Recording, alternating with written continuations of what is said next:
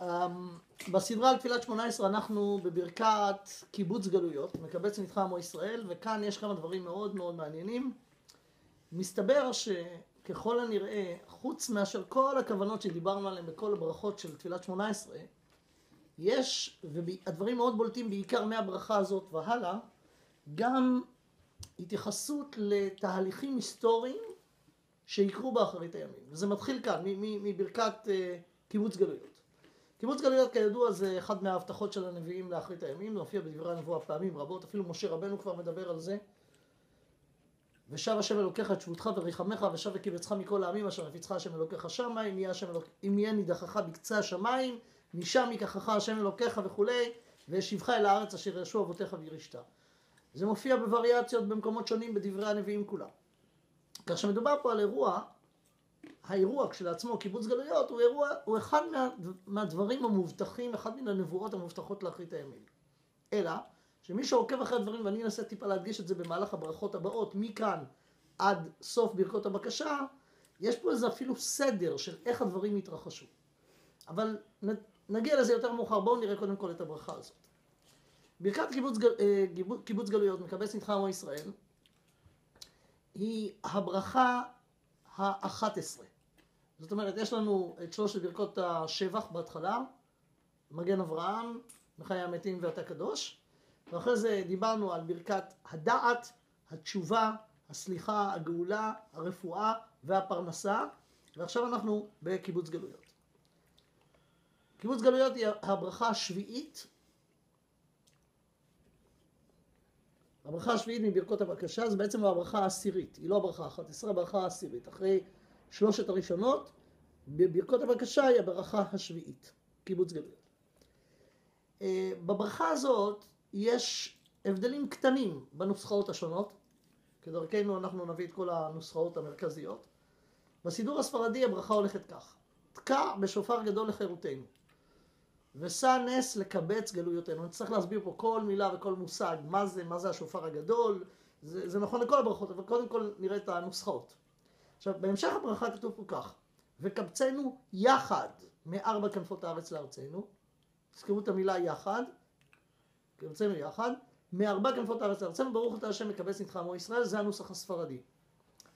בנוסח האשכנזי, בנוסח האשכנז, תקע בשופר גדול לחירותנו, ושא נס לקבץ גלויותינו, וקבצנו יחד מארבע כנפות הארץ, ברוך אתה השם מקבץ נדחה עמו ישראל, נראה אותו דבר.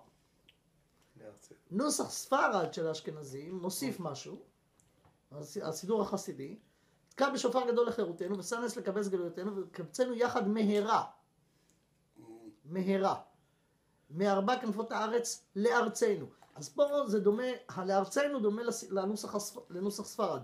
בנוסח אשכנז, אם תשימו לב, לא מוזכר לארצנו, וקבצנו יחד מארבע כנפות הארץ. ברוך אתה השם מקבץ נדחה עמו ישראל, כאן מוזכר לארצנו. ברוך אתה השם מקבץ נדחה עמו ישראל. בסידור התימני, שתמיד יש בו את השינוי שלו, כן? את השינוי הדק, אז כתוב ככה, תקע בשופר גדול לחירותנו, ושא נס לקבץ את כל גלויותינו, את כל גלויותינו, שזה מופיע רק בסידור, בסידור הספרדי, מארבע כנפות הארץ לארצנו, לא מופיע פה יחד ולא מופיע פה מהרה, אבל מארבע כנפות הארץ לארצנו, ברוך אתה השם מקבץ נדחה עמו ישראל. זהו, זאת הברכה, אלה הנוסחאות השונות. אנחנו כאמור מתמקדים במשותף. כלומר, אני לא עכשיו להסביר, להיכנס להסברים של למה פה יש את המילה הזאת ולמה יש את המילה הזאת, אבל הדברים המשותפים. אוקיי, עכשיו, מה הדברים שצריך לבאר כאן? קודם כל, מה עניינה של הגאולה וקיבוץ נדחי ישראל לשופר? אנחנו הבטיח להשיב אותנו לארצנו. אבל אנחנו רואים שזה קשור לשופר, והביטוי פה הוא ביטוי שדורש הסבר, שופר גדול. תקע בשופר גדול. חירותנו זה גם דבר שצריך הסבר. שהרי אנחנו בגלות, אבל אנחנו לא עבדים, אבל בפשטות ככה זה נראה. שהיותנו בגלות שם אותנו כאילו במדרגה של חסרי חירות. ולכן תקע בשופר גדול לחירותנו. כלומר, קיבוץ גלויות הוא גם הוצאה לחירות מאיזשהו שעבוד מסוים שצריך להבין אותו, שאנחנו כביכול נתונים בו כשאנחנו לא בארצנו. הגלות היא קללה, הגלות היא עונש. בסדר, ברור שזה דבר לא טוב. מה זה קשור מפני לחירות? חטאינו גלינו מעטנו. ברור, ברור, אוקיי, נכון, זה, זה באמת הדברים. אני רק עכשיו נותן את השאלות בתור כיוונים, שכמובן שזה הכיוון להתייחסות להסבר. ושא נס לקבץ גלויותינו, נס זה דגל, ושוב, גם זה טעון הסבר, השופר והנס, כלומר, שופר והדגל, שהם הם פה מופיעים בתוך הברכה. וקבצנו מארבע כנפות הארץ לארצנו, ברור שמדובר פה על קיבוץ גלויות סופי באחרית הימים, שיקבץ את כל עם ישראל בחזרה לארצו מכל התבל, הרי התפזרנו בכל המקומות, מארבע כנפות הארץ. ברוך אתה השם מקבץ נדחי עמו ישראל, וגם זה טעון הסבר. גם המילה נדחי, פירושה ולמה משתמשים בה דווקא, ועמו ישראל. אה, אם נזכור, שלוש ברכות קודם, בברכת הגאולה, אנחנו חותמים במילים ברוך אתה השם גואל ישראל. לא מוזכר שם גואל עמו ישראל. כאן כן מוזכר עמו ישראל, ונראה גם כן מדוע זה מופיע פה בעזרת השם בהמשך. אוקיי, עכשיו, שוב, כדרכנו אנחנו נתחיל מהגמרא במסכת מגילה בדף י"ז עמוד ב', שמסבירה את סדר הברכות. אחרי כל ברכה, למה באה אחרי חברתה. הברכה הקודמת לברכת קיבוץ גלויות היא ברכת השנים. ברוך אתה השם מברך השנים, שהיא ברכת הפרנסה. אז שואלת הגמרא, ומה ראו לומר קיבוץ גלויות לאחר ברכת השנים? כלומר, למה זה צריך לבוא אחרי? אחרי ברכת הפרנסה, ברכת השנים. וכאן הגמרא מביאה את הכיוון המאוד מעניין הזה. תראו את התשובה. דכתיב, מכיוון שכתוב, זה בנוי על הפסוק ביחזקאל, יחזקאל ל"ו, ואתם הרי ישראל, ענפיכם תיתנו, ופריכם תישאו לעמי ישראל, כי קרבו לבוא. אז הואיל ושם מוזכר שם התנובה של, הר, של הרי ישראל ואת פירות ארץ ישראל, וכתוב אחרי זה, לעמי ישראל כי קרבו לבוא. כלומר, כשהם יחזרו בסוף הגלות ויחזרו לארצם, אז ארץ ישראל תיתן את פירותיה. אבל יש פה יותר מזה, כדי להבין את הדברים, את הדברים, את המילים הספורות האלה בגמרא, צריך לתת קצת רקע. וזה קשור לנושא שלם שאני עכשיו אומר אותו רק ברמה של ראשי פרקים. אחד הדברים המאוד מרתקים שנמצאים בתורה זה הנבואות. והנבואות הן פנטסטיות מהסיבה שהתחזיות שהקדוש ברוך הוא נתן, כלומר הקדוש ברוך הוא נתן לנביאים אינפורמציה לגבי אירועים שיקרו בעתיד, האירועים האלה הם אירועים בלתי אפשריים. זאת אומרת, הם לא אירועים שאתה יכול לעשות חישוב מתמטי או לוגי ולהגיד, כן, בוא נעשה אחד ועוד אחד, נקבל את התסריט הצפוי. כמעט כל הנבואות מדברות על משהו שמגיע משום מקום, ולפעמים הם, הוא אפילו מופרך. וזה העוצמה של הנבואות האלה. שהנבואות האלה הן לא רק לא הגיוניות, אי אפשר לחזות אותן, כי אם אתה עושה את החישוב על סמך נתונים שאתה מנתח אותם בצורה הגיונית, אתה תגיע למסקנות אחרות לחלוטין. הנבואות בדרך כלל זורקות מין פצצות כאלה של כל מיני אירועים שהם לא אפשריים, ואני אסביר עוד מעט בקשר לנושא הספציפי הזה. ומסתבר שכל הנבואות שהגיע זמנם להתגשם, התגשמו במלואם, בדיוק כמו שהנבואה חזתה אותם, ובניגוד למה שההיגיון היה אומר שהולך להיות. בואו תראו למשל את הרקע על העניין הזה. הקדוש ברוך הוא כשמוציא את בני ישראל ממצרים מבטיח להם שהוא הולך להביא אותם אל ארץ טובה ורחבה, ארץ זבת חלב ודבש. זה חוזר על עצמו כמה פעמים בתורה, עוד לפני הכניסה לארץ. ואכן זה כך, ארץ ישראל היא ארץ אדמת עידית. אדמת עידית, אז זה עוד לא מרשים במיוחד, זה עוד לא, בסדר, הוא מבטיח להם, הם באו ממצרים, הם עברו במדבר 40 שנה, עכשיו הוא אומר להם, המקום שאלינו אני הולך להביא אתכם זה מקום פורח. עכשיו שוב, אם ניקח את ההיגיון, השכל הישר והניסיון האנושי מראה שאדמת עידית, אדמה טובה שמניבה פירות, תמשיך להיות כזאת. אלא אם כן יקרה איזשהו אסון טבע בסדר גודל של הפיכת סדום ועמורה, שיהרוס את יכולת האדמה להניב את פירותיה. ככה ההיגיון אומר. אומר הקדוש ברוך הוא לפני הכניסה לארץ, זה מופיע בספר ויקרא, זה מופיע בספר דברים פעמיים, ויקרא ודברים זה מופיע בנבואת התוכחה, ובספר דברים זה מופיע גם בפרשת קריאת שמע, שאנחנו אומרים כל יום, פעמיים ביום מדאורייתא, בפעם השלישית מדרבנן, בפרשת ויהם שבוע. בפרשת בחוקותיי ככה, כתוב, אם בחוקותיי תלכו ואת מצוותיי תשמרו ועשיתם אותם, ונתנה הארץ יבולה, ועץ השדה ייתן פריו. והשיג לכם דיש את בציר, ובציר יזרע. במה זה תלוי? אם בחוקותיי תלכו. ואם לא, כתוב שם באותה פרשת בחוקותיי, אם אתם כעם לא תקיימו את ההתחייבות שהתחייבתם בסיני נעשה ונשמע. ואם לא תשמעו לי ולא תעשו את כל המצוות האלה, ואם בחוקותיי לא תלכו, ונתתי שמכם כברזל וארצכם כנחושה, ולא יהיה לכם זה, והארץ תה, לא, לא תניב את פירותיה. בפרשת, וזה מופיע בווריאציה שוב בספר דברים בפרשת התוכחה בפרשת כי תבוא. בקריאת שמע, והם שמעו תשמעו וכולי, ונתתם את ארצכם בעיתו, ירום מלקוש וכולי. ישמרו לכם פנפתי לבבכם, וסרתם, ועצר את השמיים, ולא יהיה מטר, והארץ לא תיתן את יבולה. עכשיו כאן הנבואה היא לא הגיונית, כי איך אפשר להבטיח דבר כזה? איך משה יכול להבטיח דבר כזה? איך מישהו יכול להבטיח דבר כזה? הרי כדי להבטיח דבר כזה צריך שליטה על הטבע. אדמת עידית לעולם תהיה אדמת עידית, זה לא משנה אם האנשים שם מתפללים אה, או לא מתפללים, אה, שומרים שבת, לא שומרים שבת, זה לא קשור לזה. זה לא עובד באף מקום בעולם בצורה כזאת. והנה יש פה הבטחה מנוגד לשכל שיש בה התחייבות שאם עם ישראל לא ישמור את המצוות, הארץ לא תיתן את פירותיה. יתרה מזו, בפרשת התוכחה כתוב,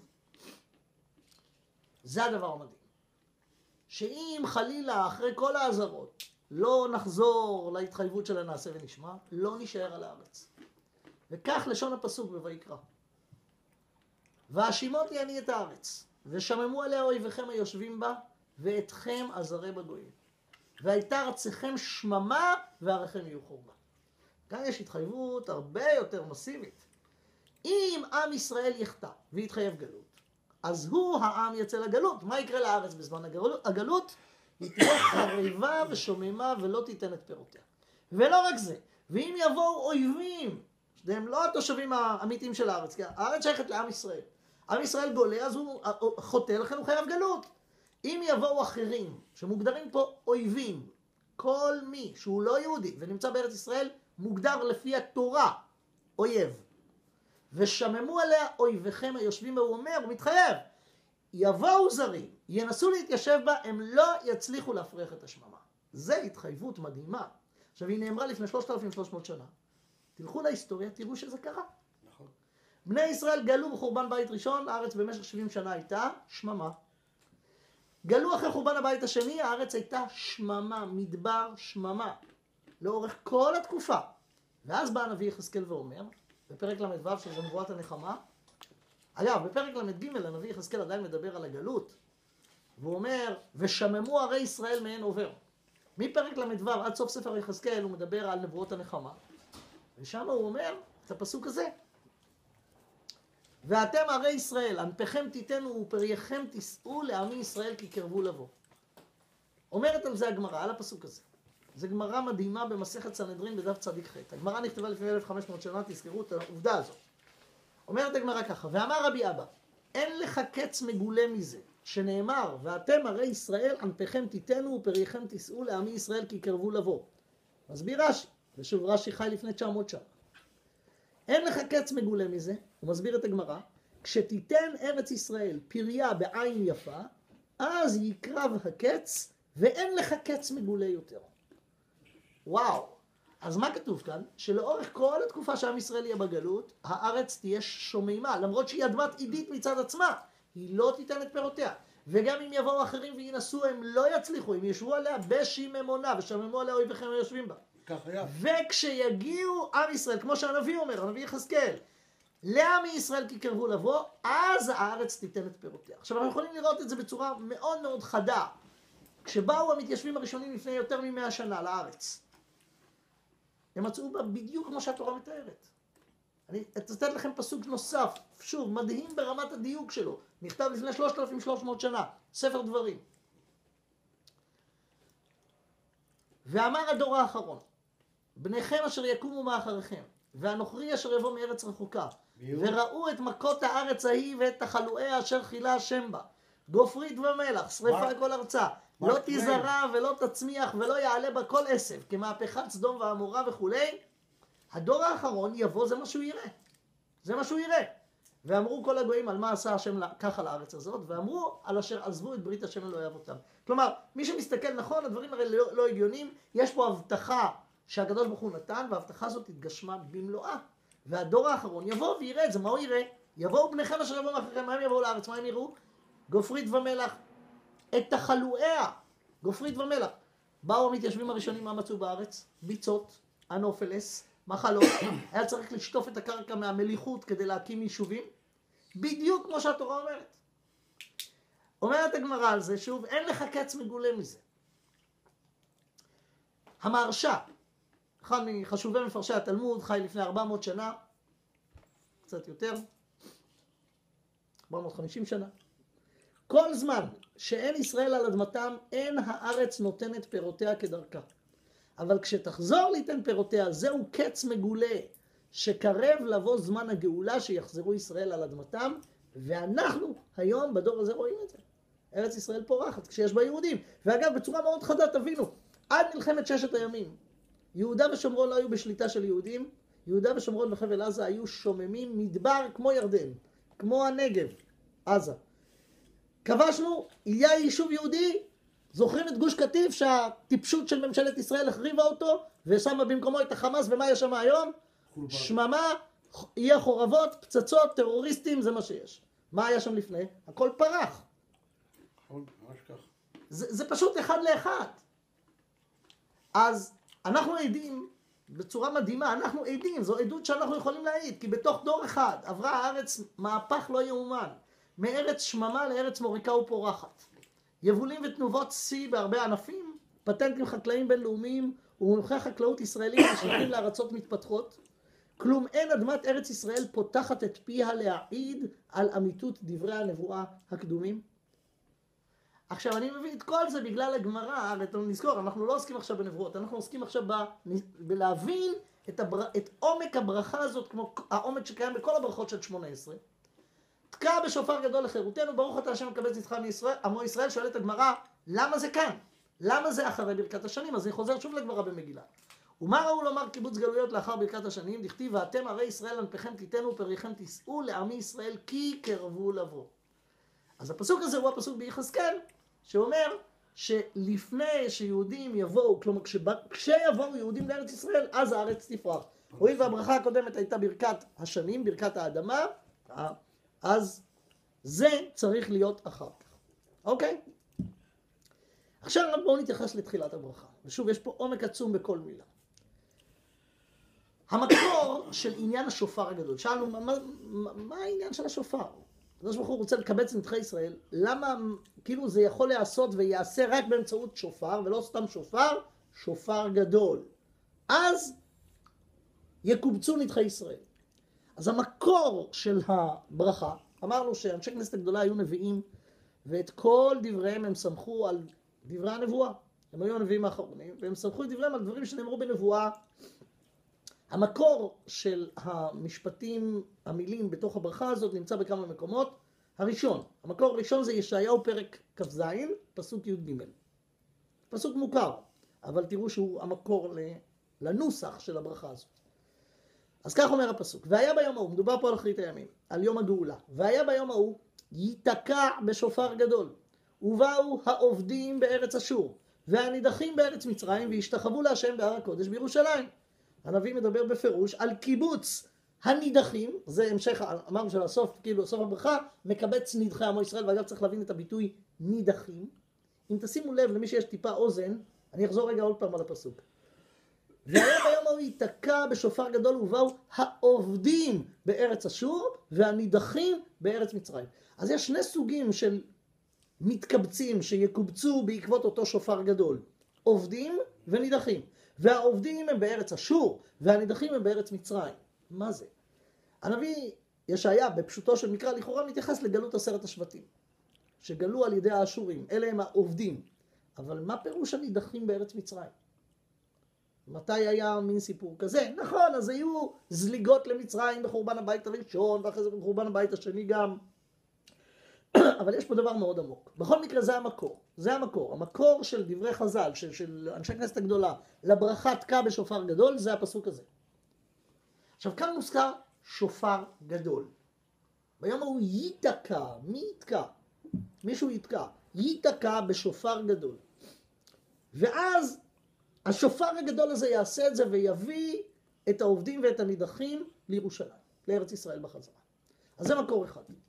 מקור נוסף, שוב בישעיהו, קצת כמה פרקים לפני זה, בפרק י"ח, ושוב, שם אנחנו מוצאים מילים נוספות ש... שחז"ל שמו אותם, שאנשי כנסת הגדולה שמו אותם בתוך הברכה הזאת. כך כתוב בישעיה פרק י"ח פסוק ג' כל יושבי תבל ושוכני ארץ כנסו נס הרים תראו וחתקוע שופר תשמעו.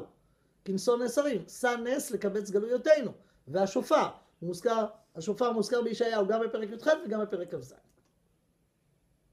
במקום נוסף זה בישעיהו י"א, מעניין, הכל, הכל פה זה בישעיהו, ישעיהו י"א. והיה ביום ההוא. והיה ביום ההוא שורש ישי, אשר עמד לנס עמים. הפסוק הזה, הפרק הזה מדבר על, משיח, על המשיח באחרית הימים. והיה ביום ההוא שורש ישי אשר עמד לנס עמים, אליו גויים ידרושו, והייתה מנוחתו כבוד. והיה ביום ההוא יוסיף השם שנית ידו לקנות את שאר עמו, אשר יישאר מאשור וממצרים ומפטרוס ומכוש ומעלם ומשנער ומחמת ומאיי הים. Oh. אתם יודעים איפה זה איי הים? Yes, sir. אוסטרליה, ארה"ב, איי הים, זה האיים הרחוקים. וכל שאר עמו אשר יישאר בכל מקום בעולם. אז הוא ממשיך, ונשא נס לגויים, ואסף נדחי ישראל, ונפוצות יהודה יקבץ מארבע כנפות הארץ. אז זהו, זה המקור, זה הרקע של הברכה הזאת. הברכה הזאת כולה מעוגנת בדברי הנבואה, ובמקרה הזה כל, כל, כל המילים הם בעצם מישעיהו, ישעיהו י"א, ישעיהו י"ח וישעיהו כ"ז. עכשיו ננסה להבין את עומק העניין. זוכרים שאחת מהשאלות ששאלנו בתחילת הדברים זה מה פשר החירות המדוברת? כלומר, כשאנחנו בגולה, אנחנו בגולה. זה, זה, לא, ודאי שזה לא מצב נכון, שאתה לא נמצא במקום שבו אתה צריך להיות. גולה זה מצב... אבל מה, מה בין זה לאובדן החירות שתושב באמצעות השופר כשנחזור לארץ ישראל? את, את, את הנקודה הזאת צריך להבין. אז ככה, המקור לדברים האלה הוא מצווה בתורה. מצווה בתורה, מצווה נדירה, אנחנו כבר לא מקיימים אותה, לא יכולים לקיים אותה כבר הרבה מאוד שנים. מאז חורבן הבית הראשון אי אפשר לקיים את המצווה הזאת. המצווה הזאת היא מצוות השמיטה. סליחה, מצוות היובל. מצוות היובל.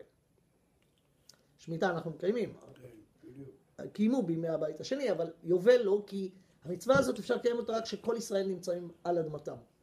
עכשיו, מאז שגלו עשרת השבטים, לא כל, אפילו, אפילו בסוף ימי הבית הראשון, לא כל ישראל נמצאים על אדמתם ואי אפשר לקיים את היובל. בואו נראה איך זה מופיע בתורה. ספר ויקרא, פרק כ"ה.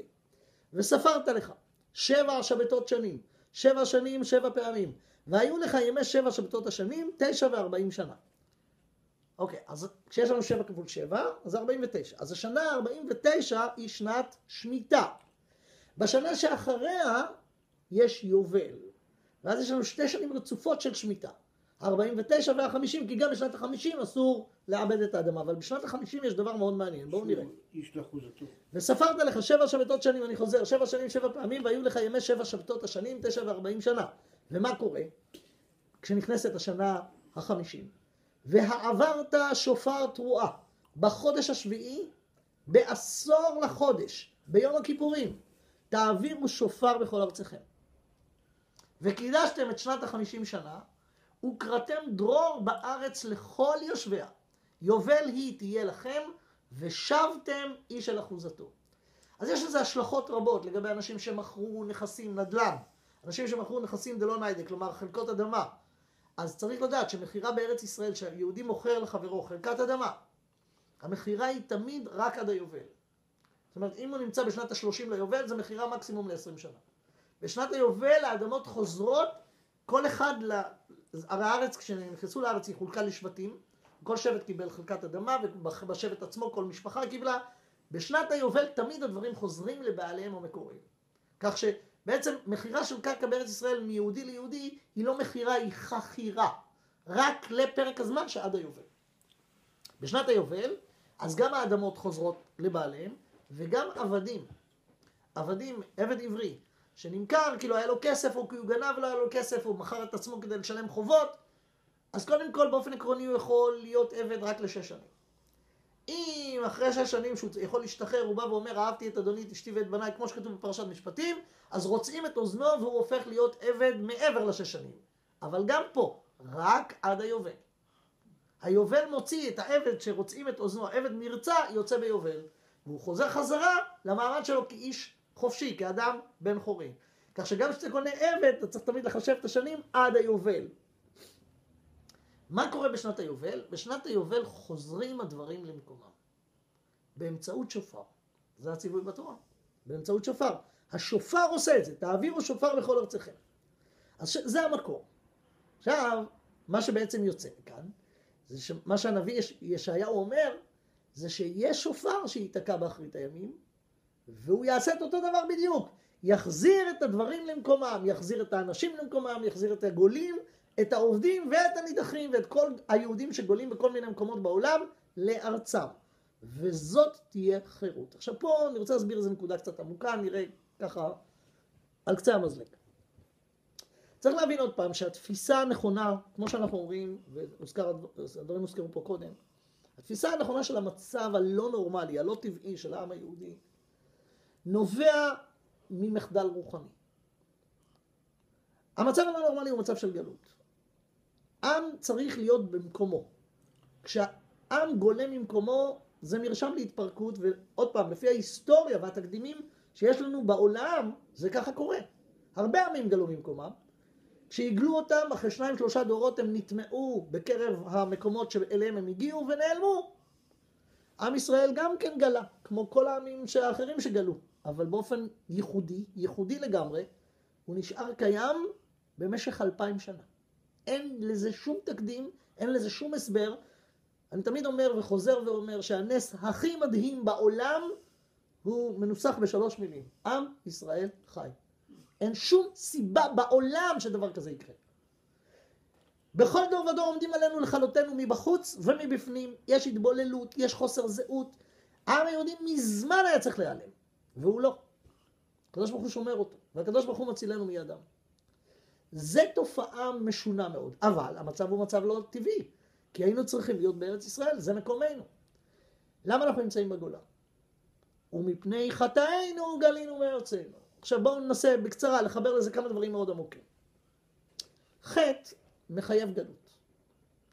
אנחנו מוצאים את זה עוד לפני עם ישראל, דיברתי על זה באריכות בהרצאות אחרות.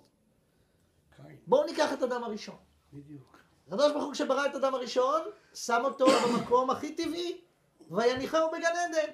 זה המקום שלו. לא, חטא, אדם הראשון, יצר מצב שהאדם איבד את מקומו.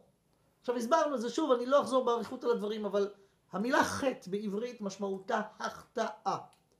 להחטיא. ובלוח קריאה למטרה יש נקודה אחת שאם החץ פוגע בה, זהו. יש אין ספור אפשרויות פספוס. פספוס בעברית תקנית זה נקרא החטאה. ומכאן ההגדרה למושג חטא. חטא זה מצב שאתה שם את הדברים במקום הלא נכון שלהם. זאת הגדרת החטא. כשאתה בבחירתך שם את הדברים במקום הלא נכון, כשיכולת לשים אותם במקום הנכון, ברגע שעשית את זה, שמת את זה במקום הלא נכון, איבדת את מקומך. ולכן התוצאה של חטא מחייבת גלות, אתה איבדת את הזכות להיות במקום שבו אתה יכול להיות. עכשיו זה קצת בעיה, כי המשנה במסכת אבות אומרת, אין לך דבר שאין לו מקום. דבר בלי מקום לא יכול להתקיים. ולכן בעצם החטא יוצר מצב של חוסר יכולת לשרוד. לשרוד בגלות זה מצב לא נעים. עכשיו אנחנו מוצאים את אותו דבר אצל אדם הראשון ואצל קין, בנו, רצח את הבל. אז מה היה העונש שלו? ארור אתה מן האדמה, נע ונד תהיה בארץ. האדמה לא תוספת את כוחה לך, היא לא תקבל אותך, אתה תהיה נע ונד. וזה קרה גם לנו. המקום שלנו, עם ישראל, זה בארץ ישראל. הקדוש ברוך הוא הזהיר אותנו מראש. אם בחוקותיי תלכו וישבתם לבטח בארצכם, ואם לא, והאשימות יעני את הארץ ואתכם עזרי בגויים. וככה קרה. ולכן אנחנו יודעים שכשאנחנו רוצים להבין את, הת... את התוצאה, אנחנו משולים למישהו שרוצה להבין משהו, אבל הוא מסתכל רק על... אני רוצה להבין עץ שלם כשאני מתבונן רק בעלה אחד. העלה מחובר לענף, הענף מחובר לענף יותר גדול, הענף היותר גדול מחובר לגזע, הגזע מחובר לשורש, אם אתה רוצה לנתח את המצב של העם היהודי ואת המצב, מה יפתור את הבעיה? אנחנו בגלות. מה יפתור את הבעיה? נחזור לארצנו. אבל אם אתה רוצה להבין מה גרם, אתה רוצה באמת לפתור את הבעיה, אתה צריך להבין מה גרם לגלות. מה גרם לגלות? ומפני חטאינו גלינו מארצנו. וכשגלינו מארצנו, איבדנו את מקומנו, ומבחינה זו הפכנו להיות משועבדים. האמת היא שזה, שוב, נמצא בשורש הדברים כבר אצל אדם הראשון. אדם הראשון, הקדוש ברוך הוא ברא אותו כדי להיות מלך. ותחסרהו מעט מאלוהים, וכבוד והדר תאתרהו. כל שתת תחת רגליו, נתת לו את הכל. הקדוש ברוך הוא לא ברא את אדם הראשון כדי להמית אותו, והוא לא ברא אותו כדי שהוא יעבוד הפוך, הוא אמור להיות המלך, זה שמנהל את העניינים. אבל הוא חטא. וברגע שהוא חטא הוא הפך להיות עבד. בזעת אפיך תאכל לחם עד שובך אל האדמה, ויגרשהו מגן עדן לעבוד את האדמה. העבודה היא הקללה שבאה בעקבות חטא אדם הראשון. עכשיו, החטא שוב מחייב גלות ומחייב עבדות לחומר, שכשאתה לקחת את החומר ובמקום לשים אותו במקומו כמשרת של הרוח, הפכת אותו למטרה בפני עצמו, אז עכשיו אתה עבד שלו, אתה משועבד לו. עם ישראל קיבל את התורה, ועם ישראל הם בני מלכים ואמורים להיות בני מלכים, אבל כשהם לא עושים את התורה, למה הם לא עושים? בגלל יצר הרע ובגלל החטא. אז הם הופכים להיות עבדים. כלומר, הם משועבדים לחומר, הם משועבדים ליצר, והם עבדים. ודבר נוסף, הם גולים, הם, לא, הם איבדו את, מקו, את מקומם. ולכן הברכה הזאת פותחת במילים תקע בשופר גדול לחירותנו. מה זה לחירותנו? חירות מיצר הרע. החירות הראשונית, כלומר, כדי לטפל בבעיה, לא בסימפטומים של הבעיה, גלות היא סימפטום. השורש זה הוויתור על להיות עבדי השם ונסיגה בחזרה ללהיות, למצב שנקרא עבדים היינו לפרעה, עבדים לחומר, בחומר ובלבנים. זה, זה, שוב, הדברים מבוארים במקומות אחרים. אבל אנחנו עושים פה מצב של בחירה לוותר על מלכות השם ולהיות עבדים לפרעה, כלומר לחומר. נכבד העבודה על אנשים, זה אני מאמין של פרעה. אז זהו, אז אנחנו משועבדים. ולכן, תחילת הגלות מן הגאולה זה קודם כל חירות והחזרת הריבונות. להפסיק להיות עבדים לחומר. תקרא בשופר גדול לחירותנו, וממילא ההשלכה של זה תהיה לקבץ את גלויותינו. עדיין צריך להבין את עניין השופר. כלומר, למה השופר עושה את זה? גם ביום הכיפורים, וגם באחרית הימים, ביום ההוא ייתקע בשופר גדול. אז שוב, בואו ננסה להבין את זה. שורש העניין נמצא בחייהם של אבותינו. אמרנו הרבה פעמים, מעשה אבות סימן לבנים, והכל נמצא בשורש, כל המאורעות שעתידים לבוא על עם ישראל נמצאים בשורשם אצל האבות. בפרשת עקדת יצחק, פרשת וירא, ספר בראשית, פרק כ"ב. כולם מכירים את הסיפור. אני רוצה להתמקד בסעיף אחד קטן מתוך כל הסיפור הזה. הקדוש ברוך הוא מבקש מאברהם, הוא מנסה אותו. האם יש איזושהי עכבה מבחינת המלכתו את השם בעולם? ואז הוא אומר לו את הדבר הכי הכי מסובך, הכי קשה לביצוע. קח לך את בנך, את יחידך אשר אהבת את יצחק, ועלהו וכולי לעולם. ואברהם עומד בניסיון הזה. ובלב שלם לגמרי, הוא לא שואל שאלות בכלל, הוא לוקח את יצחק, ויקח את המאכלת לשחוט את בנו. ואז הקדוש ברוך הוא עוצר אותו, שולח מלאך ואומר לו, אל תשלח ידך אל הנער, ידעתי כי ירא אלוהים אתה. אז שוב, הסברנו את זה באריכות כשדיברנו על פרשת וערב ועל פרשת העקדה. אני רק אזכיר נקודה אחת. בכל פעולה שאדם עושה, פעולה אנושית, רצונית, לא אינסטינקטיבית, מחושבת, יש שני תהליכים. התהליך מתחיל מגמירות הדעת של המחשבה, כלומר, בהתחלה אתה עומד בפני המצב, אתה צריך לקבל החלטות. יש לך הרבה אפשרויות. כשקיבלת החלטה והדברים נגמרו בדעתך, זה נקרא, נקרא גמירות הדעת. המחשבה, אוקיי, מבין כל האפשרויות אני הולך על זה. אבל זה עדיין תיאורטי. השלב הבא יהיה להוריד את זה לרובד המעשה. אז התהליך הוא קודם כל דיון מחשבתי מבחינת האופציות שישנם, הכרעה ברמה המחשבתית, והשלב הבא זה להוציא את הדברים מן המחשבה אל המעשה. אצל אברהם אבינו צריך להבין, נגמרה החלטת הכרעת הדעת, באופן מאוד ברור. הוא החליט, הוא כבר, הוא כבר היה בשלב של הביצוע, הוא לא, וישלח את המאכל לשחוט את בנו. כלומר, גמירות הדעת הייתה שם. מה היה? זה היה רק אמור להיות מבוצע, או בא לידי ביטוי באמצעות הפעולה בפועל. ואז הקדוש ברוך הוא עצר אותו. עכשיו, הכלל הוא, שמחשבה טובה הקדוש ברוך הוא מצרפה למעשה. ולכן עקדת יצחק זאת זכות עצומה שעומדת לבני אברהם ויצחק ויעקב לכל הדורות. זכות עקדת יצחק. שבה גם אברהם וגם יצחק לא שואלים שאלות בכלל לגבי רצון השם. הם ממליכים את השם לגמרי, ואפילו הרצונות הטבעיים שלהם לא מעכבים אותם. הרצון לשרוד, הרצון שהבן שלי יחיה וכן הלאה. שהם...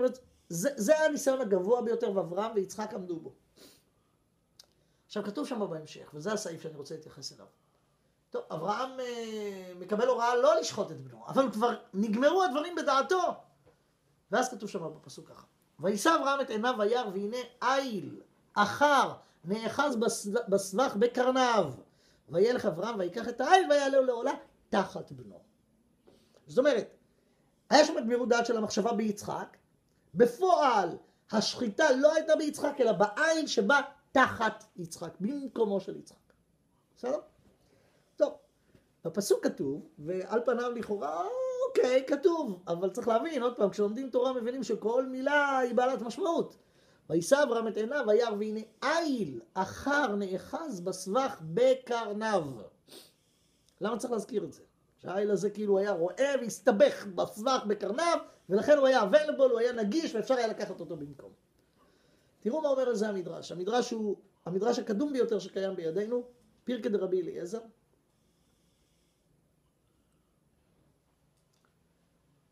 רק לפני פרקי דרבי אליעזר אני אזכיר משנה במסכת אבות. במשנה במסכת אבות כתוב עשרה דברים נבראו בערב שבת בין השמשות. ויש שם רשימה של הדברים שנבראו בערב שבת יום שישי, הרי ששת ימי בראשית, יום שישי ממש לפני כניסת השבת. בכניסת השבת ויחולו לו השמיים והארץ. אבל בתפר שבין זה לזה נבראו עשרה דברים. ואלו הם פי הארץ ופי הבאר ופי האתון והקשת והמן וכולי וכולי. בהמשך כתוב שמה ויש אומרים אף המזיקים הוא קבורתו של משה ואילו של אברהם אבינו. אותו איל נברא ביום השישי בתפר שבין ימי החולין לקדושת השבת. אלו של אברהם אבינו. מה זה אומר? האיל הזה לא היה כל כך זקן. צריך להבין, המושג שנקרא אלו של אברהם.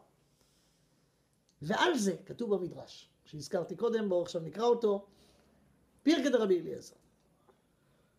בפרק ל', כתוב שם כך: רבי חנינא בן דוסה אומר, אותו העיל שנברא בין השמשות, לא יצא ממנו דבר לבטלה.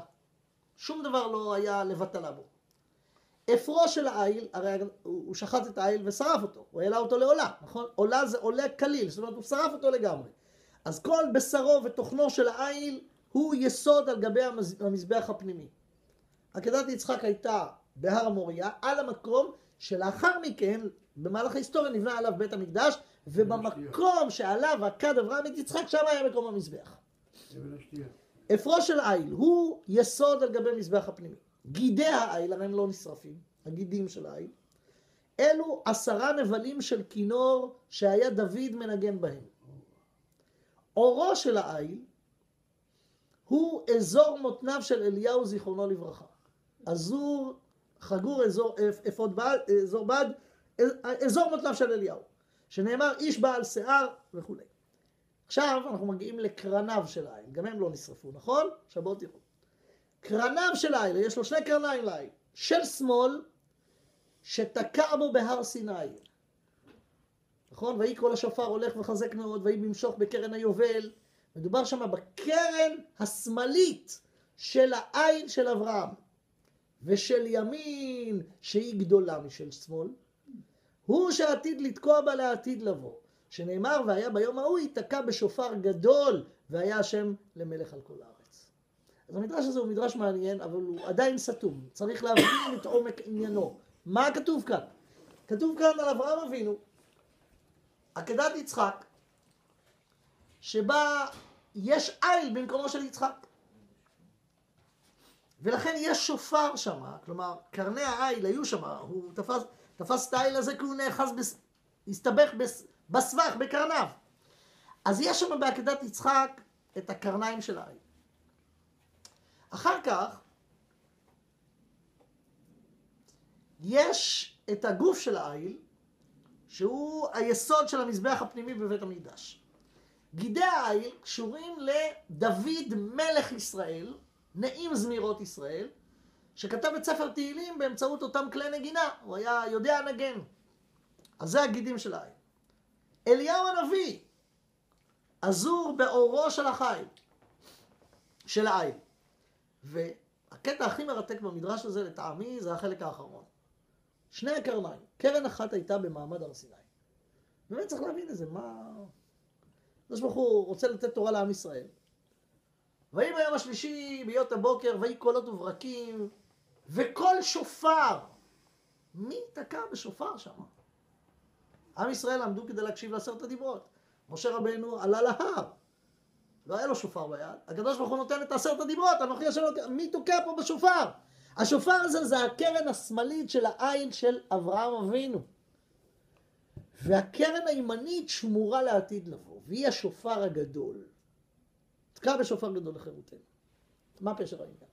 יש פה דברים מאוד מאוד עמוקים, שוב, אני על קצה המזלג, כי הזמן שלנו הוא לא כזה שאפשר עכשיו להרחיב בזה.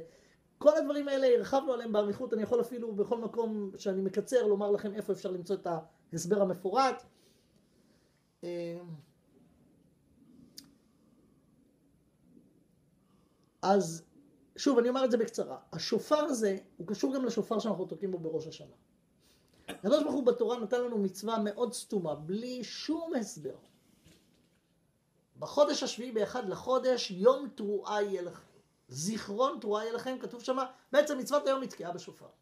למה? למה? ביום הזה נתקעה בשופר? אז זה יום הדין, יום הדין שופטים את האדם, אבל מה זה קשור לשופר?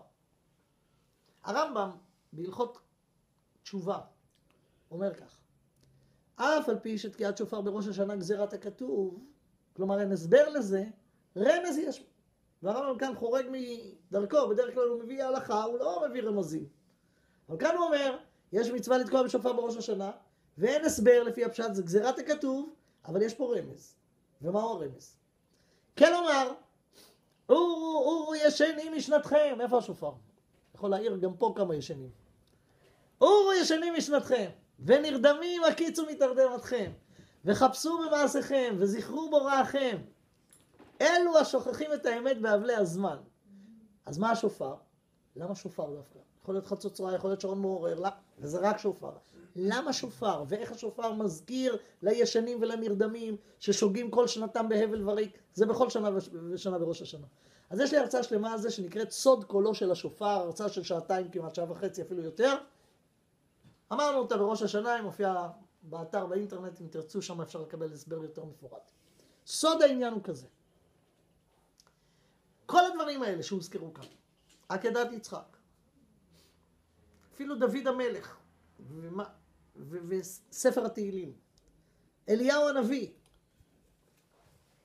בטח מעמד הר סיני, והשופר הגדול של אחרית הימים. המכנה המשותף של כולם, מה זה שופר? שופר זה חומר. אתה לוקח עיל, המקום הכי גבוה בעיל, הראש שלו, אתה חותך את השופר, זה עוד לא שופר. אתה צריך לסדר, קודם כל לנתק אותו מהעיל. אבל עדיין יש לך חתיכת כזה קרן, כן? זה עוד לא שופר. צריך לנקות אותו, להוציא את כל התכולה שבפנים. אחרי זה אתה צריך לחתוך את החלק הקיצוני המחודד של הקרן, כדי שיהיה מקום לתקוע. עכשיו צריך לחתוך את זה בצורה מאוד מדויקת. אם יהיה מדי מדי בקצה, אז עדיין לא יהיה פה חור שמאפשר לאוויר להיכנס ולשמוע תקיעת שופר. אם תחתוך את זה פנימה יותר, זה יהיה צינור. צריך להיות מסודר. אחרי שגמרת לסדר, ניתקת אותו קודם כל מהחומר, שזה העין. הסרת את החומר שבפנים המיותר, ויצרת ממנו כלי לרוחניות. אז הוא שופר. ואז מה אתה עושה? אתה מקרב אותו לפה ונופח לתוכו. כשאתה נופח לתוכו מה קורה? נשמע קול בצד השני. נשמע קול. אם תנפח לאוויר לא יישמע שום קול. אם תשאיר את השופר רחוק מהפה ולא תנפח לתוכו שוב לא יישמע קול. לייצר את הקול צריך את הצירוף של הכנסת הרוח לתוך החומר. וזה היסוד של כל העניין. זה המכנה המשותף של כל המקומות. השופר הראשון בעולם היה בעצם בריאת אדם הראשון.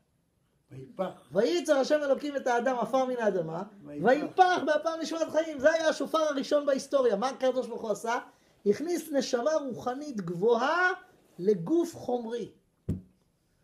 וזה הסוד של כל הדברים. אומר הרמב"ם, אם תזכור שיש לך נשמה, אז ככה השופר מעורר את הישנים. איך הם ישנים? הם, הם, הם בתוך החומר, והם חושבים שהחיים שלהם זה חומר, הם שכחו את הרוח, הם שכחו את הנשמה. השופר בא להזכיר, הנה הרוח נכנסת לתוך החומר, ואז הדברים הם אחרים לגמרי. ולכן במעמד הר סיני היה שופר, כי מה היה העניין של מעמד הר סיני? לתת את הערכים הרוחניים, איך אדם יחיה כאדם ולא סתם כאיזה חיה, עם אותם ערכים שמופיעים בעשרת הדיברות וביתר מצוות התורה שעניינם קידשנו במצוותיו, לצרף את החלק הפיזי על החלק הרוחני. וזה מה שהולך לקרות באחרית הימים וזה הסוד. בואו נחזור רגע לפסוק בישעיהו. והיה ביום ההוא, ביום ההוא ביום בו הגאולה, ייתקע בשופר גדול. שופר גדול. הוא גדול לא במידותיו, אלא באפקטים שלו. כשיתקע בשופר הזה יישמע קול. ואת הקול הזה ישמעו יהודים שהלכו לאיבוד. הם העובדים בארץ אשור והנידחים בארץ מצרים. וכשהם ישמעו את השופר ויבינו את המסר שהרוחניות צריכה להיכנס לחומריות, אותה רוחניות שננטשה ובגללה הם גלו ועבדו מארצם, כן? כשהם יקבלו את המסר, הם יתפסו את המטוס הראשון ויעלו לירושלים. ובאו העובדים, כשיתקע בשופר גדול, באו העובדים בארץ אשור והנידחים בארץ מצרים והשתחוו להשם בהר הקודש בירושלים. כי בעצם מה שיקרה פה זה שישמעו את השופר, כלומר יבינו גם מה השופר אומר. אנחנו בראש השנה מברכים, ברוך אתה השם אלוקינו מלך העולם אשר קידשנו בניצוציו וציוונו לשמוע כל שופר. אז בעומק העניין יש פה תפילה, שקדוש ברוך הוא יזכה אותנו לשמוע מה השופר אומר לנו. לשמוע את הכל, את, ה... את כל השופר. תקע בשופר גדול לחירותנו. עכשיו, בואו נוסיף לזה עוד דבר אחד, בביאור הפסוק בישעיהו. יש עובדים ויש נידחים וזה לא אותו דבר. העם היהודי יצא לדרך לפני 3,300 שנה ביציאת מצרים, במעמד הר סיני, היום הזה נהיית לעם, ואז חתמנו כולנו, בני אברהם, יצחק ויעקב, בני השבטים, על חוזה עם הקדוש ברוך הוא. נעשה ונשמע את מצוות התורה. ויצאנו לדרך. אבל בדרך הלכו לנו לאיבוד, הרבה יהודים.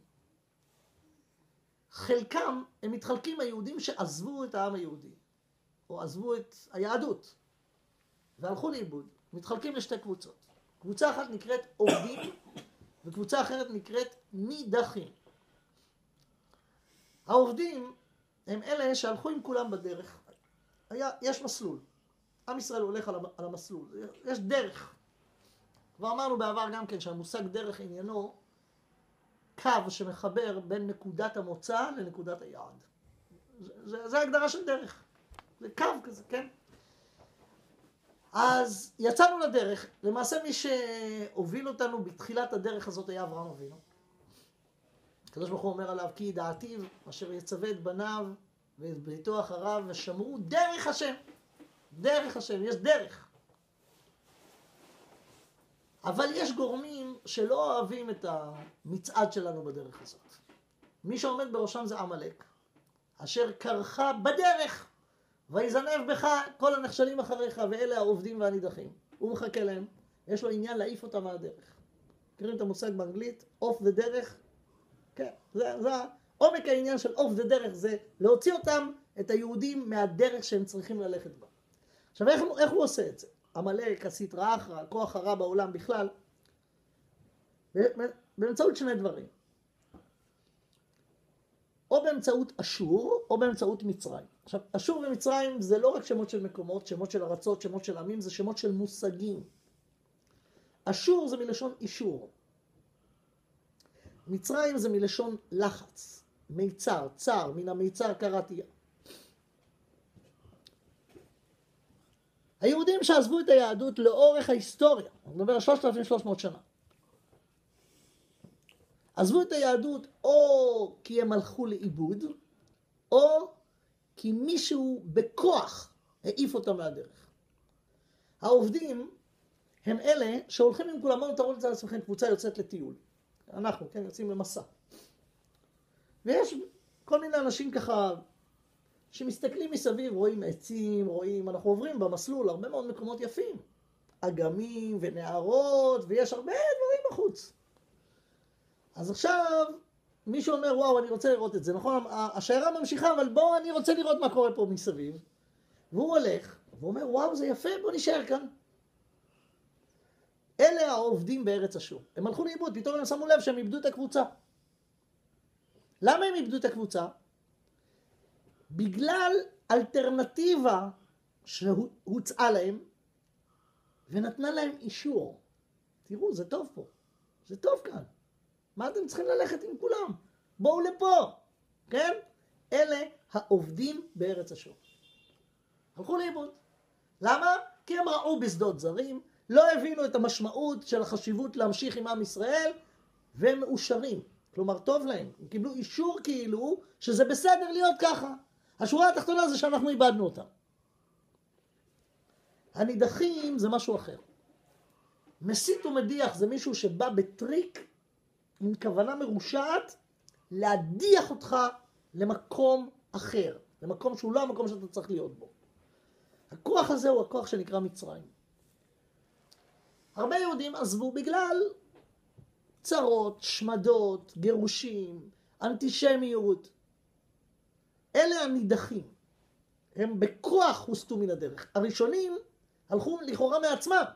אמנם הם קיבלו אישור פיקטיבי. הם עזבו את הדבר האמיתי לדברים שכאילו חשבו שהם טובים יותר, או לפחות אותו דבר, והם ודאי טועים בזה, אבל הם מאושרים, הם לא בלחץ. אוקיי, טוב לי ככה, אני עוזב את העם היהודי, ביי ביי. לא מעניין. הנידחים הם אלה שבכוח, בכוח, בכוח השמד, שימדו אותם. כשייתקע באותו שופר גדול, הם יחזרו.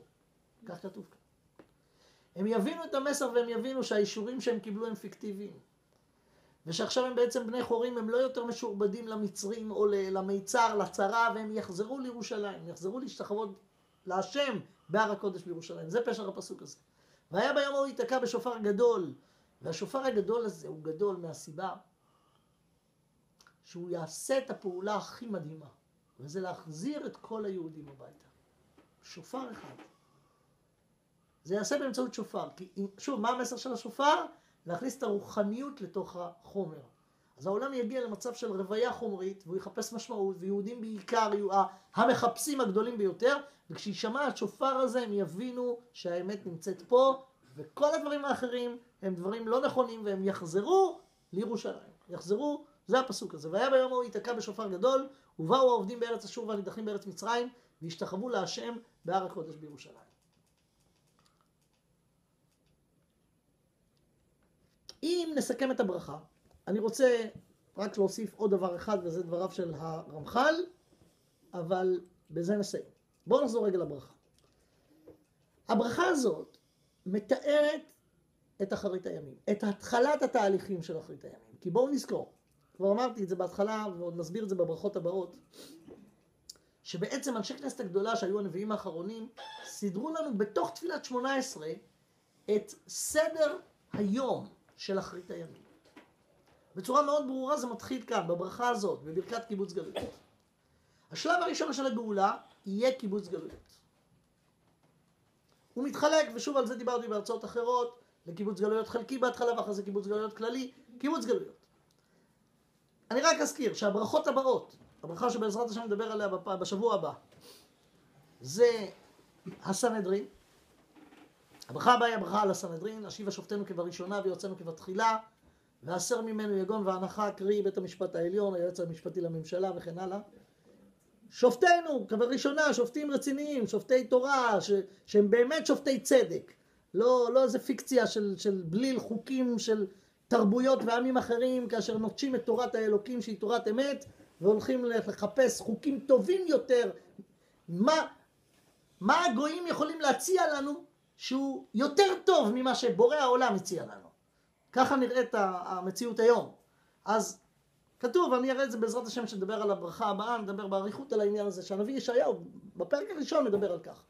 שאחד מהדברים הראשונים שיקרו זה סילוק השופטים הלא ראויים והשמה במקומם של השופטים הראויים. בכל מקרה מה שהוא מתאר פה זה תהליך מעניין, קודם כל יהיה קיבוץ גלויות. אחרי זה יהיה צריך לייצר תשתית למשפט על פי תורה, זה הברכה הבאה. הברכה שאחריה זה העקירה של הכפירה. למינים ולמלשינים אל תהי תקווה. והמינים והמלשינים הם אלה שהקימו את השופטים הלא ראויים. ואחרי שתתוקן מערכת המשפט ממילא יהיה דין ויסולקו כל הכופרים. הברכה שאחריה זה הצדיקים, שסוף סוף יחזרו להנהגת העם היהודי ומשען ומבטח לצדיקים. ואז בונה ירושלים, בניין בית המקדש ומשיח, וצמח דוד. זה התהליך, זה תפילת שמונה עשרה, שתבינו, מה שעשינו עכשיו זה רק אנחנו מראים איך בתפילת שמונה עשרה שיהודים אומרים אותה בכל הדורות, יש את האג'נדה של אחרית הימים. איך זה הולך להיות? ואנחנו כבר שם. אנחנו בהתחלה של קיבוץ גלויות, זה התחלה. אבל שימו לב איך זה ממש מדויק. יש קיבוץ גלויות לא כללי, עדיין חלקי, יש יישוב יהודי בארץ ישראל, אבל אנחנו עדיין לפני המצב שיש לנו סנהדרין. יש לנו שופטים לא ראויים. זה השלב הבא, לפי התהליך שמתואר כאן. אחר כך זה ביטול הכפירה. הצדיקים חוזרים להנהיג את עם ישראל, בניין ירושלים בית המקדש, משיח, ובזה מסתיים תהליך הגאולה. זה פשוט לא יאומן, זה בתוך התפילה עצמה. בסדר? עכשיו בואו תראו עוד דבר אחרון, וזה הברכה. בואו ננתח את הברכה. תקע בשופר גדול לחירותנו, הסברנו. כדי להבין את התיקון של הגלות, כדי לקבץ את נדחי עמו ישראל ולבטל את הגלות, צריך להבין מה הוביל לגלות. מה שהוביל לגלות היה החטא, מפני חטאינו גלינו מארצנו, ולכן נהיינו משועבדים לתפיסות של האומות שהגלו אותנו, לתפיסות של אומות העולם. אז הדבר הראשון זה שהשופר י... י... יקרא לנו לחירות, נשוב איש אל אחוזתו, נחזור למקום שבו אנחנו צריכים להיות. ושא נס, נס זה דגל, לקבץ גלויותינו. זאת אומרת זה יהיה דבר, דגל, נס, דגל, זה דבר ששמים אותו במקום מאוד בולט. שמים אותו נכון בראש התורן, שכולם יראו אותו. אז זה יהיה דבר כזה שהשופר הזה יהיה דגל שלאורו כל העובדים והנידחים מכל קצוות העולם יבואו וקבצנו מארבע כנפות הארץ לארצנו. עכשיו ההגעה לארץ, נבין עוד פעם, היא לא הגעה פיזית, כמו שחשבו אותם שוטים, שאפשר לבנות בית לאומי לעם היהודי בלי תורה ובלי יהדות. הקדוש ברוך הוא נתן לנו את ארץ ישראל כדי שנשמור את התורה. והוא אמר לנו בפירוש, אם לא תשמרו אני אעיף אתכם משם, וזה קרה, ולא לומדים את הלקח. חוזרים וחושבים שאפשר לבנות יישוב יהודי בארץ ישראל בלי תורה, בלי אלוקים. זה לא מצליח. זה לא יצליח. וכאן כתוב שאנחנו רוצים לחזור לארצנו אחרי שנחזור לחירותנו ונבין את מורשתנו ונתגאה בה ואז יקובצו נדחי ישראל. על פי הקבלה זה החלק האחרון שהוא חלק מאוד עמוק הרמח"ל מבאר את הדברים ככה הוא מתייחס לשופר של ראש השנה ובדרך אגב הוא מתייחס גם לשופר של אחרית הימים בואו נקרא את דבריו זה החלק האחרון של הדברים היום אומר הרמח"ל ככה במאמר שנקרא מאמר החוכמה ועוד עניין גדול יש ביום הזה. כאמור ההתייחסות שמה היא לראש השנה. והוא עניין השופר שנצטווינו בו. וזה כי סגולת השופר בתקיעתו למטה וכוח שורשו למעלה בעולם העליון, בעולם הרוחני, היא לחזק את הטוב ולכפות הרע. יש כוח. השופר, כל השופר, התקיעה של השופר, כופה את הרע. כופה מלשון לכפות אותו, באזיקים. כלומר, לסגור אותו, לצמצם אותו, לכפות את הרע ולחזק את הטוב. זה שתי פעולות שהשופר עושה. הוא מחזק את הטוב והוא כופה את הרע, הוא כופה אותו, אוסר אותו באסורים, באזיקים.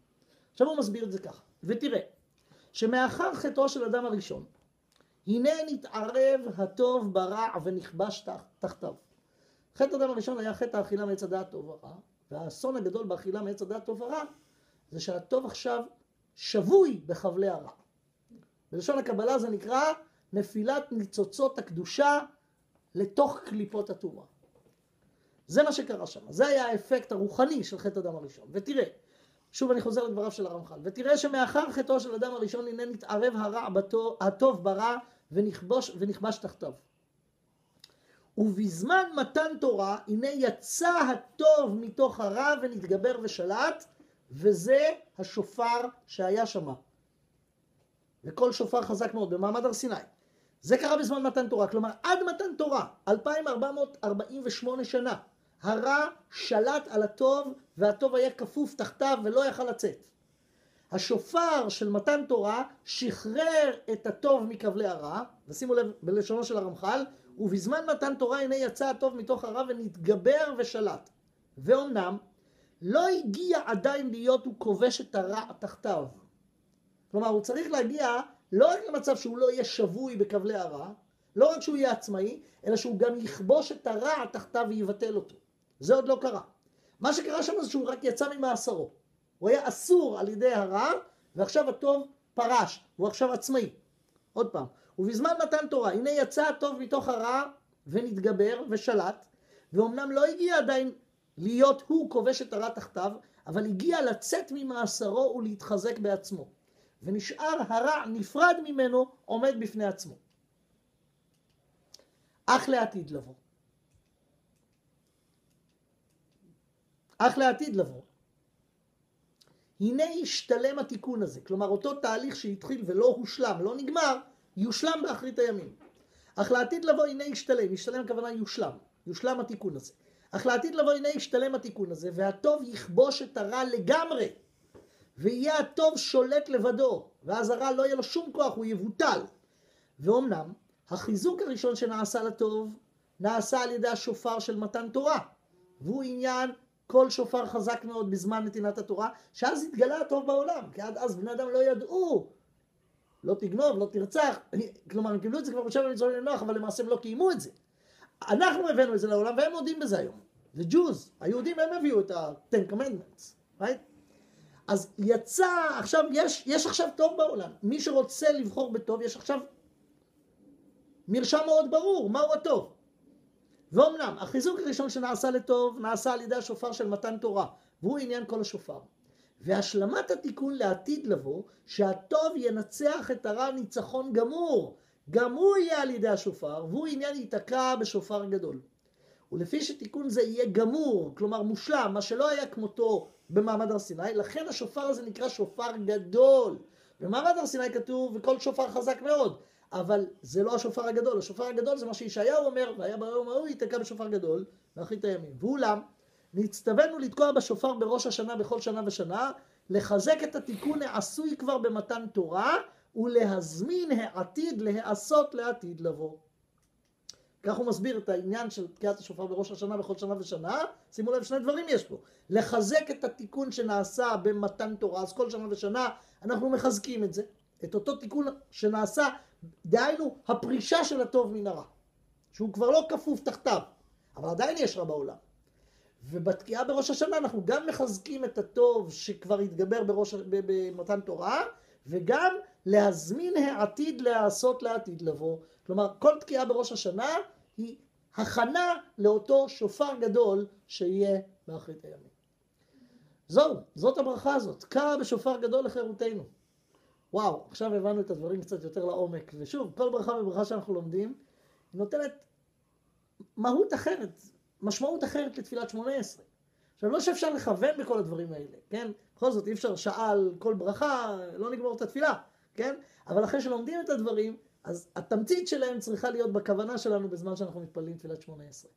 אז במהרה בימינו שנזכה לאותו שופר גדול ונחזור חזרה לארצנו, לא רק פיזית, גם רוחנית, במהרה בימינו. אוקיי, השיעור הבא בעזרת השם השבוע הבא. יישר כוחך.